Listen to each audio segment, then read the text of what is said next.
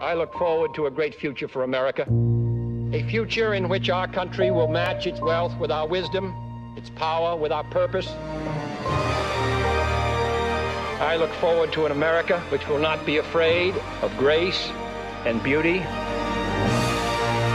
We all breathe the same air. We all cherish our children's futures. And we are all mortal.